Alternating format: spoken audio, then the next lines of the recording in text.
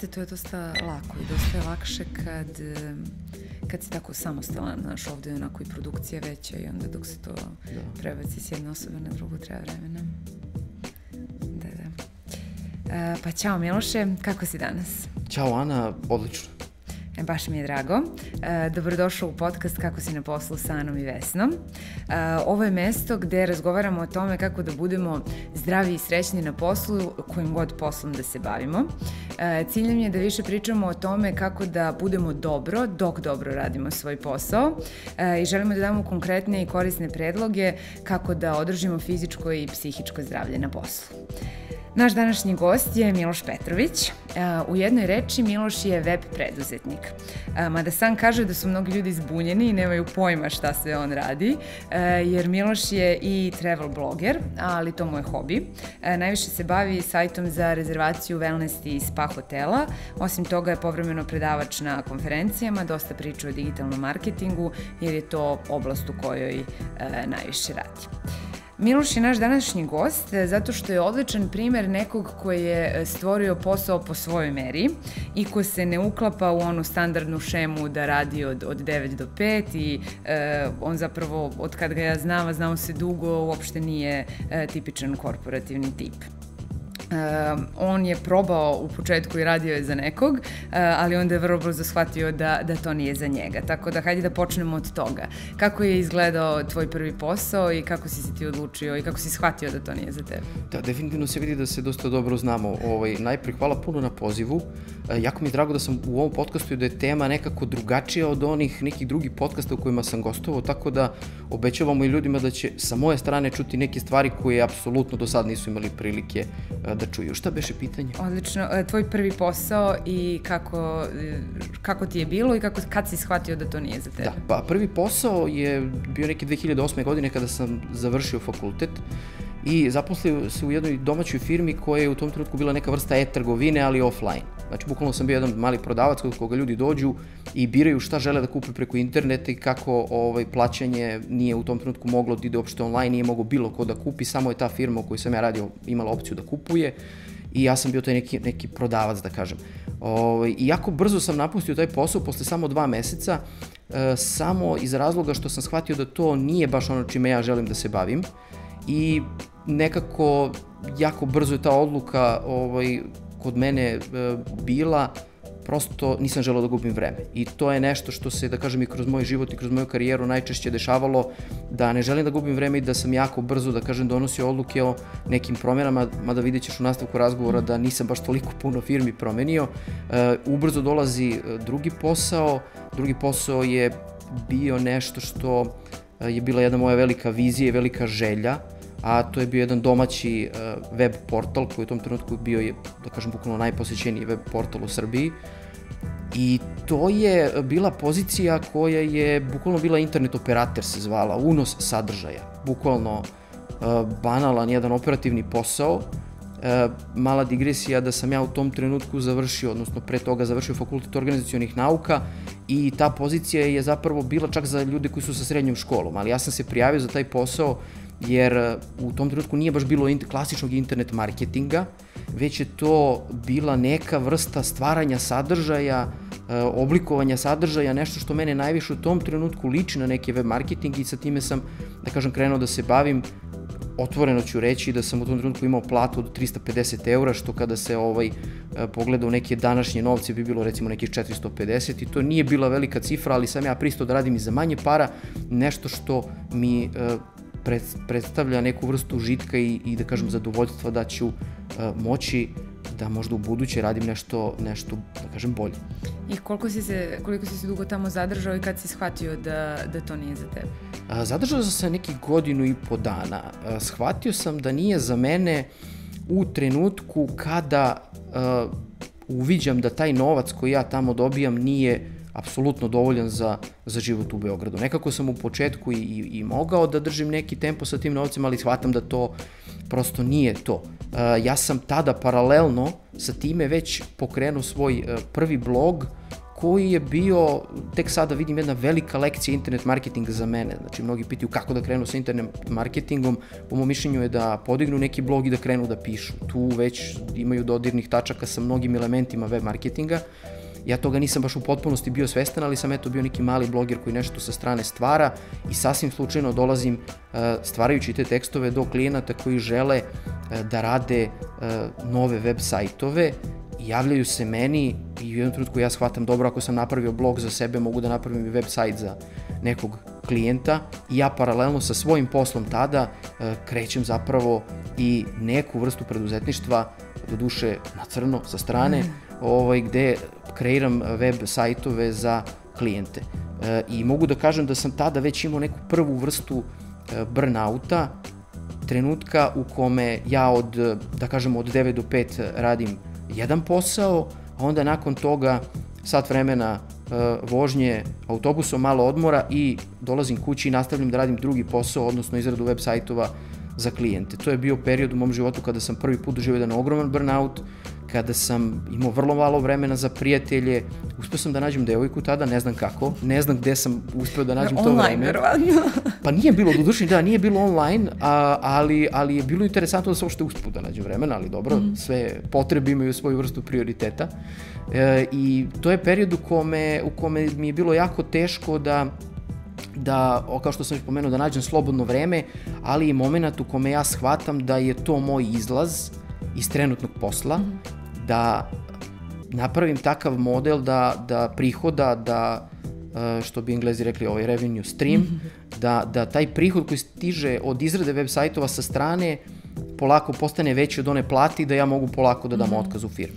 Da, to sam htela da te pitam, znači tebi, ti nisi unapred e, znao i osmislio ja ću da budem preduzetnik i bavit ću se tim i tim, nego je to prosto došlo spontano. Došlo je spontano, mm -hmm. ali moram ovde da kažem u startu da to da li ćeš biti preduzetnik ili ne, poprilično ima veze sa tvojom ličnošću. Mm -hmm. A prosto postoje ljudi koji ne žele da vode tim, ne žele da se bave bilo kakvim samostalnim radom. Postoje ljudi koji žele da budu vođeni i to je njihova zona komfora. I ne može svako prosto da bude preduzetnik baš zbog toga, nikoga ne pocenjujem, nego prosto ljudi iz jednog, da kažem, psihološkog ugla nisu spremni za preduzetništvo. E, tu sam ja u nekom svom, onako, u nekoj analizi sebe kroz život shvatio da, da ja imam tu sklonost ka tome da sam nešto stvaram, da sam nešto radim. Mm -hmm. I čak mi je i majka govorila, kaže, kada si ti bio prvi, drugi razred osnovne škole, bukvalno si apsolutno sam radio domaće zadatke. Tebi je bila uvreda da neko sedne pored tebi da radi sa tobom domaći zadatak. Tako da to je nešto što je u čoveku, nešto, da kažem, u mhm. ličnosti. I prosto ja sam iz jednog ugla gledano e, bio single player u tom trenutku. E, mene je u, u firmi u kojoj sam radio jako smaralo što sam ja davao neke ideje i predloge za poboljšanje, ali te ideje nisu dolazile na, da kažem, na realizaciju. I meni je to prosto bila uvreda kad ja znam da su te ideje dobre. Ja sam te ideje kasnije mm -hmm. primenjivao kod sebe na svojim projektima i davale su rezultate. E, tako da taj preduzetnički moment se kod mene desio pod pretpostavkom da kažem da imam tu stranu ličnosti da želim da, mm -hmm. da, da radim nešto samostalno, a opet e, tek tada moj e, stvari koje sam učio na fakultetu organizacijonih nauka dolaze do izražaja da kažem aha, dobro, znači one financije i knjigovodstvo i uh, organizacija i marketing koje sam učio sada ipak imaju smisla jer kada da si da single player, kada si sam, ti moraš od svega da žongliraš pomalo i to je nešto što je nekima otežavajuća okolnost, meni u tom trenutku bio jedan veliki izazov. A koliko dugo si paralelno radio i za nekog i započinjao sa svoj biznis? To je trajalo recimo nekih godinu dana mm -hmm. otprilike, šest meseci do godinu dana i bukvalno moje nezadovoljstvo na tom starom poslu je dovelo do jednog razgovora sa tadašnjim direktorom sa kojim sam ja inače ovako stvarno imao mm -hmm. dobre međuljudske odnose gde on kaže ja vidim da si ti nezadovoljan na poslu, šta ćemo da radimo?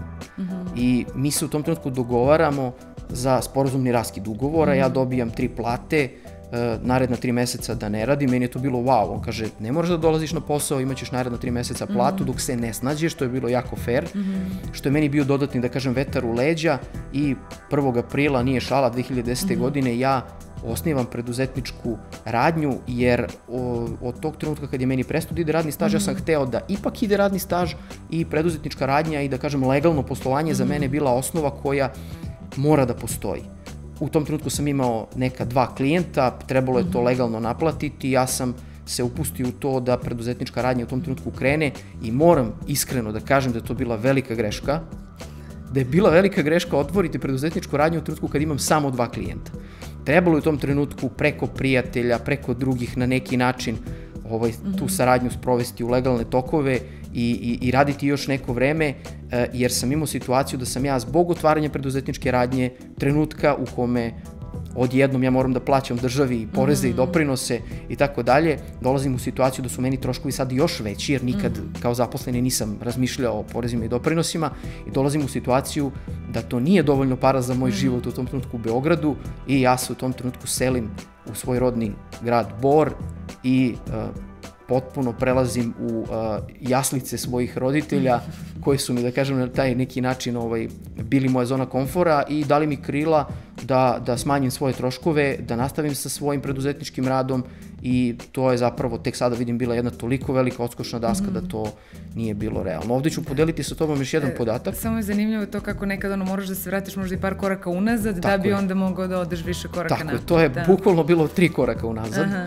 ali odskočna daska je bila takva da sam ja već za dve godine bio daleko ispred onoga mm -hmm. što je bilo E, pre toga. I bukvalno sam sad radio analizu te prve godine poslovanja 2010. godine i kao prosečni prihod mesečni je bio 45.000 dinara. Mm -hmm. Od čega su porezi i doprinosi bili 25.000 dinara. Tad je minimalac bio oko 25.000, odnosno za paušalce neka cifra, 21, pardon, je bilo tako da 45 minus 21, to je čisto kao novca koliko ostajalo meni, i kao to nije dovoljno, ali to je bukvalno bilo samo prvih šest meseci, već mm. nakon toga kreće jedan preduzetnički zalet i dalje radim izradu web sajtova i bukvalno kreće priču toliko pozitivnom pravu. Ti si, ti si vrlo brzo, mislim nije vrlo brzo, ali nakon što si tu agenciju stavio na noge i počela da, da lepo živi, ti si onda krenuo i da vidiš koje još druge stvari možeš da radiš, pa si onda napravio i sajt za, za wellness i spa hotele i uh, imaš Tako i svoj je. blog o, o, o turizmu, pa kako je, šta ti je tu vodilo? Ali ti ovo nije bilo dovoljno, pa si hteo da vidiš još nešto ili... Ja sam zapravo prvi blog pokrenuo 2007. godine. Znači sad mm -hmm. nećemo ni da računamo da to već kao 15 godina od tada mm -hmm. i prosto delo je kao wow. I taj blog, kao što sam pomenuo, je za mene bio web marketing, pravi web marketing, alat, zanat, kako god da ga nazovemo. Izrada web sajtova je jedna tehnička priča. To je mhm. nešto drugo. Ja sam shvatio u tom periodu da je moj prihod 90% vezan za izradu web sajtova, a da je samo nekih 10% nešto što dolazi od nečega što se zove internet, eh, odnosno web marketing. Mm -hmm. Web marketing pričamo o toj nekoj 2008. i 2009. godini, 10. je već je na o, nekim neverovatnim osnovama, prosto neverovatno zvuči sad, kada bi sad rekao da tad nije postojalo oglašavanje na Facebooku, Instagram, mm -hmm. ne, to ne postoji u tom trenutku, bukvalno kod nas, i uh, ja nemam ni način da unovčim, da kažem, tu svoju web marketing stranu, tako da moj prihod je samo nekih 10% zavisi od toga, neki plaćeni link na blogu, plaćeni tekst ili tako nešto. Shvatam da ja ipak više želim da se bavim web marketingom, I tu, tu sam već doživio drugi burnout, drugi burnout u životu, to je trenutak da sam ja kao podizvođač radio za jednu ili dve u tom trenutku digitalne, odnosno PR agencije u Beogradu, još tad mhm. nisu postojale digitalne agencije, već je sve to išlo preko PR mhm. agencija i kao podizvođač sam praktično poprilično bio uključen u, u, u rad neke digitalne agencije, E, odnosno na projektima izrade web sajtova i tako dalje. Ja nikada nisam radio u marketinškoj agenciji, to mi je sa jedne strane bilo žao, sad mi nije žao, nekad mi je bilo žao, zašto nisam sticao i tu vrstu iskustva, dosta sam samostalno, da kažem, učio i u tom trenutku doživljavam taj drugi burnout, a to je preveliki pritisak od strane uh, tih marketinških agencija ljudi koji rade u agencijama dobro znaju o, o, o mhm. kakvom se pritisku radi. Iako sam ja bio eksterni saradnik, to je sve moralo danas, sve moralo odmah. Ogroman jedan pritisak, ja sam kao neka vrsta tehničke podrške, non stop sam na mailu, uh, radim od kuće, radim od kuće uveliko u tom periodu, ali opet kao da sam deo neke ekipe koja tovari posao nenormalno i to je bio drugi burnout kada sam ja rekao ja sa agencijama više neću sarađivati. I to je bio jedan dobar potez jer je bilo daleko lakše raditi direktno jedan na jedan sa klijentima, gde smo mogli da dogovaramo rokove, imao sam fantastične klijente i to je trenutak kada shvatam da je jako bitno sa kakvim čovekom radiš. Imao sam situacije da sam radio sa lošim ljudima, sa totalnim, ne znam kako da ih nazovem, vrk naciji, totalno, koji toliko nemaju osjećaj za ljude pod broj 1 i to nije vredno novca ni malo. Da nemate ni vikend, ni da kažem dan kad vas ne zovu telefonom, smaraju i tako dalje. Ja inače ne volim uopšte da mm -hmm. nešto previše pričam telefonom, sve volim da ide kroz mail komunikaciju, lakše za praćenje. To je bio period mog života kada sam imao taj drugi burnout i kada ja shvatam da ja ne želim apsolutno da se u životu bavim izradom web sajtova, paralelno sa time već polako kreće nova ideja portala za koji objedinjuje wellness i spa centre u tom trenutku, kasnije hotele, ali moram da kažem da je taj projekat nastao kao rezultat mog iskustva i nekoliko propalih web sajtova, mm i tu kreće jedna potpuno, da kažem, nova, nova priča za mene. Da. Zanimljivo je kako to, mislim, kroz iskustvo, iskustvo te nauči šta ne želiš zapravo, jer mnogi ljudi Tako misle je. to kao ti kada odeš iz kompanije, kad počneš da radiš sam, da će to da bude super, kao sad nemaš gazde i sve, ali zapravo imaš mnogo gazdi, imaš i u zavisnosti od toga sa kim radiš, različite ljude opet sa, koji, koji su ti na neki način nadređeni samo sada u, u ulozi klijenta, tako da super je kako te lekcije, lekcije dolaze Tako vremenom. Tako i tu je prednost ako ste traženi kao, da kažem, preduzetnik, kao neko ko mhm. pruža neku uslugu, možete da birate sa kim ćete da radite. To je najveća najveća prednost. Mm -hmm. Nije nekad stvarno ni novac samo u igri, prosto sa kojim ljudima radite je mm -hmm. sjajno. Da, i meni je zanimljivo što ti nisi ušao u mod, mislim, ok, ti si započeo jednu firmu, pa si započeo i drugu i radiš još, da kažem, dosta, dosta stvari sa strane, ali nisi ušao u modu koji uđu e, većina preduzetnika i većina ljudi generalno, čak i ovi u kompaniji, gde uvek ono hoće još i hoće više i kad ostvarim ovo, ja ću, mislim, i ti ideš negde hoću više, ali opet čini mi se, bar i ono što te znam i kako vidim tvoj život, da vrlo vodiš računa o slobodnom vremenu, o putovanjima, o tome da, ok, ja ću da, da napredujem, ali ne po cenu da sad ne radim pet godina, da bi tamo onda možda šeste e, živeo malo bolje ili onda da. tek imao... Ja kao uh, singlepreneur, kako isto englezi ovaj, dovode interesantnu reč, shvatam da ja ne želim baš u potpunosti da radim sam. Ja sam jako brzo, posebno za potrebe sajta koji objedinju wellness i spa uh, centre, shvatio da ja moram da imam još nekog zaposlenog pored sebe, jako brzo uh, primamo ekipu još dvoje ljudi uh, i to je tačka koju ja shvatam da nemam problem sa delegiranjem, posebno kada je u pitanju posao koji nije direktno vezan za moje znanje. Tu imaju krizu neke vrste, da kažem, ljudi i preduzetnici koji rade sami i imaju strah od delegiranja, ali opet ni njih ne treba osuđivati, jer prosto postoje ljudi koji apsolutno žele da rade sami i ceo život žele da pružaju uslugu tako kao jedna osoba i to je sasvim u redu. Ja sam u početku smatrao da svi trebaju da napreduju, e, ali ne. Apsolutno svako je važno da prepozna neku svoju vrstu maksimuma. U mom slučaju je to danas, pored mene, još četvoro ljudi koji, koji rade sa ono opcijom da možda bude još jedna osoba. Ja nisam želeo da širim priču u nedogled što se tiče zaposlenih, jer u jednom trenutku bi moralo da dođe do nekog novog delegiranja, do nekog kompleksnijeg sistema, a meni u životu, osim optimizacije prihoda i zarade, je jako bitna i ta optimizacija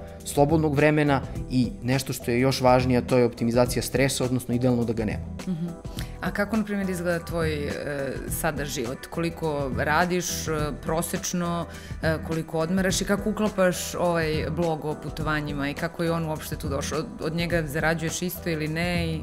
Ovo su tri pitanja u jednom. Da krenem redom. Da kreni, izvini, jedno da. po jedno. A, što se tiče organizacije vremena, a, meni jako znači što imam tu apsolutnu fleksibilnost i što, da kažem, klijenti sa kojima radim nisu direktno a, vezani za komunikaciju sa mnom, tako da budim se kad želim, i krećem da radim kada želim i sam sam sebi tu, da kažem, kritičar, da kažem ne, ne, ne, ne smeš da kreneš u 11, sa radom, moraš da kreneš u 10, ima dana kad se krene u 12, ima dana kad kažem ja danas neću raditi prvu smenu, danas ću da radim drugu smenu, zato što prosto o, bitno je da na kraju dana posao bude određena, koja meni smena više odgovara, to je da kažem do mene.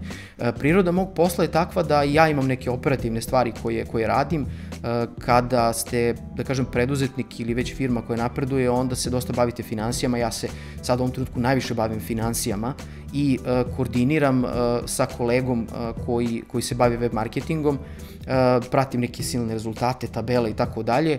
I u toj nekoj priči uh, ja nekako najviše posla ipak imam na početku meseca, tako da meni su onako prvih 10-15 dana uh, vrlo da kažem, zahtevni. Što se tiče posla, već tamo posle 15. u mesecu ja sam dosta rasterećeniji i upravo tu imam više prostora za putovanje, to je odgovor i onako mnogima koji me pitaju kako ti pronalaziš vreme za putovanje, a ako na sve to dodamo da mogu da sa laptopom i otputujem i da mogu da radim sa putovanja, to je ovo je takođe opcija da se putovanje može uklopiti.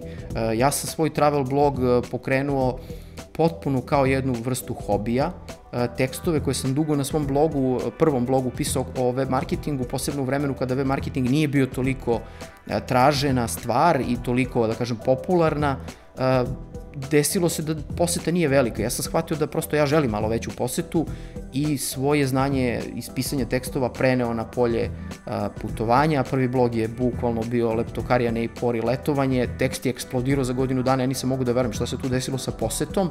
Shvatio dobro, ja, ja želim da, da imam i neki travel blog, pokrenuo poseban travel blog, i uh, tu već postoji nekih uh, 20 tekstova, možda i više, koji stvaraju neku posetu i to je po mom mišljenju sad najveća prednost pisanja bloga i, i tog dela web marketinga, što jednom napisan tekst može da generiše posetu narednih pa eto u mom slučaju po 15 godina. I to je meni nešto što je fascinantno, da nešto što stvaramo sada može da bude čitano i čitano svakog dana i onog dana kad ne pišemo, recimo. To je, da kažem, velika prednost. Lepo. Mislim, da li sam neko, neki odgovor preskočio možda? E, mislim da nisi. Hvala ti. E, lepo je kako kada imaš posao i kada organizuješ, osmisliš posao tako da imaš vremena onda i za ostale e, stvari i za hobije i stvari koje voliš, tako da to je... Tako je. Sa time što sam ja definitivno sa sobom onako raščistio u glavi da je da su putovanja, odnosno pisanje travel bloga, mm. u mom slučaju da je to apsolutno hobi. E, tu u mom slučaju ima vrlo malo novca, niti tražim ovo da kažem novac, to su uglavnom neke affiliate uh, opcije i uh, ono što je meni jako drago da sam ja putem tog travel bloga dosta proputovao, išao na neka putovanja koje su bile neka vrsta press tura, išao u Sibir, na Bajkalsko jezero i to mi je onako kao bilo wow, tako da bilo je i tu nekog doprinosa, da kažem nečega, ali, ali eto, možda ne u finansijskom smislu, nego u nekom drugom. Ja sam jako zadovoljan svojim poslom i onim što je stvarno moj posao, tako da u tome uživam i radim, a definitivno su putovanja moj hobi. Odlično. E, kaži mi, kojom logikom se, se vodiš u poslu i šta je, na primjer, šta su ta uverenja o poslu koje, koje ti imaš? Da, neke stvari sam u suštini već e, pomenuo, ali nije loše da saberem. E, to je pod broj jedan da želim da radim sa dobrim ljudima. Znači, dobro, biti dobar čovek je u neku stranu i relativno nekome će neko mm. drugi biti dobar ovaj, i tako dalje, ali meni je važno da, da ljudi sa kojima komuniciram, sa kojima radim, da, da možemo da se pod broj jedan kao ljudi jako lepo razumemo, jer kad se jako lepo razumemo kao ljudi, onda su tu i smanjene bilo kakve šanse da bude nekog stresa. To je, da kažem, jako bitno. Druga stvar, apsolutno od 9 do 5 ili od 8 do 4 ili kako god, je jedna prevaziđena šema rada, dobro, ne naravno u svim oblastima rada, ali što se tiče ove neke naše online priče, to je apsolutno potpuno bez veze vezivati ljude za te vremenske okvire, što je jednu priliku moj jako dobar prijatelj Marko Aleksić, web dizajner, pomenuo, šta ako ja imam inspiraciju u 11 uveče? Pa šta ćemo onda da, da ja radim od 9 do 5? Ne, radit ću drugu smenu, tako da i u mom slučaju meni se najčešće desi recimo da petkom uveče radim e, nije da sam neki no-lifer, ali prosto statistički se tako pokazalo da nekako ja sebi tako optimizujem vreme. Tako da, ovo, eto, to je druga stvar oko tog, e, da kažem, e, vremena i neka, šta znam, treća stvar koja, koja jeste neka vrsta moje, moje, da kažem, logike je da, ovo što sam pomenuo, da apsolutno nije sve u novcu. Znači, puno toga i do našeg e, mentalnog zdravlja, do te, tog apsolutnog smanjenja, smanjenja stresa i za mene je uspešna godina ona godina u kojoj nije bilo stresa, ako je to moguće. To mi se sviđa, to mi se baš sviđa, jer i, i sama ovaj vrlo, vrlo slično razmišljam. E, kaži mi za kraj, e, šta bi bio tvoj savjet ljudima koji žele da imaju više slobode i koji žele da organizuju svoj e, život i posao tako da, da, da nisu samo ono kuća, posao, posao, kuća i, i, i po nešto malo sa strane, nego da imaju više slobode i da bolje žive? Pa uglavnom se to svede na opciju da imaju bolju zaradu po satu. Ja često čujem kolege programere, recimo, koji samo traže veću platu, a i dalje rade po 8 sati i plus od kuće rade dodatno 3-4 sata, što je meni totalno, da kažem, suludo. Smatram da je daleko bolje imati bolju satnicu i raditi 5 sati dnevno. Ili još idealno imati slobodan ponedeljak ili petak, pa spojiti sa vikendom i tako dalje. Tako da, definitivno, bolja, bolja plaćena pozicija je nešto što je bitno. Sad, imamo i tu situaciju da da su ljudi zarobljeni na nekom poslu i da prosto ne mogu da imaju veću satnicu, uglavnom se, e, veću zaradu po satu, uglavnom se to, e, ta veća plata može ostvariti kada promene firmu. Mnogi ljudi smatruju da je ta firma u kojoj rade zona komfora i to je to i ne smem dalje, ali nije tako. Tržište se toliko promenilo da je to neverovatno, toliko ima različitih otvorenih, neverovatno otvorenih pozicija i, i sve više situacija da možete raditi za strance i to je nešto na što ljudi ovaj, moraju da obrate pažnju, da budu otvoreni za nove poslovne prilike. Ako neko ima preduzetnički duh i ne želi odmah da uleti u preduzetništvo, ili će napraviti neku ušteđevinu koja će moći da mu podrži tu preduzetničku stranu, što ja nisam uradio te 2010. godine, volao bih da jesam. I e, to je jedan način, a, a drugi način je da, da prosto e, se udružite u početku sa nekim i da krenete neki zajedničku, neku zajedničku priču i, i da, e, mislim da je jako bitno da se u životu bavite poslom koji volite. Kažu da je posao koji voliš zapravo ono što si spreman da radiš besplatno i mogu da potvrdim da je tako. Ja tačno imam neke segmente u svom poslu koje mogu da radim besplatno, ceo život uživanjem je da radim to, što znači da sam na pravom mestu. I to je jako bitno, jer ipak smo mi na poslu ogroman broj sati. Posao je 35-40 godina našeg života, ako sam dobro izračunao, možda i duže, zavisi ko je kad krenu da radi. Jako je bitno da to vreme provedemo koliko toliko uživajući budite tu stvarno, što se kaže, nežni prema sebi i ne dozvolite da budete na poslu koji vas psihički, da kažem, uništava. Hvala ti. E, tokom razgovora si pomenuo par stvari koje na neki način jesu lekcije koje si ti e, naučio, jer si nekoliko puta i kad si pričao rekao to je tad bilo pogrešno ili volao bi da, da to ovaj, nisam tako uradio. E, šta bi onda e, za kraj e, bile neke tri lekcije koje sad možeš da sumiraš i, i izdvojiš iz tvog e, preduzetničkog i generalno poslovnog iskustva e, za naše gledalce i slušalce? Ne moraju svi biti preduzetnici, to je jako mm. bitno da u startu sa sobom ljudi ovaj, shvate. E, ako smatruju da mogu biti preduzetnici, onda moraju stvarno biti e, realni u, u tim očekivanjima. E, pretvorite hobi u posao, iako neki kažu ne, ne, drži hobi da ti bude hobi, smatram da pretvoriti hobi u posao može biti izuzetno uh, važna stvar. Ja sam to na neki način uradio uh, kod sebe, jer posao kojim se ja bavim i u početku, u nekim ranim godinama koje još nisam pomenuo, mhm. zapravo bio moj hobi. I uh, definitivno nemojte zapostaviti prijatelje i, i, i bliske ljude oko sebe, jer nije baš ni sve u poslu. Hvala ti Miloše što si bio naš gost. Hvala na pozivu. E, mi se vidimo za nedelju dana na istom mestu. E, uskoro se vidimo i na svim ostalim platformama za e, podcaste. Pitao me ovaj, naš gost e, o tome. Trenutno smo na YouTube-u i na e, Business Telegraph RS u rubrici Bizcast, a od uskoro ćemo biti i na svim e, poznatim platformama za podcaste. Vidimo se. Hvala ti kako bilo? Bilo je dobro. Mislim, dobro. Moj, moj skromno mišljenje, skromni sud. Znaš šta, ono što sam ja u glavi obra obradio kao, znaš, da ćemo da dođemo...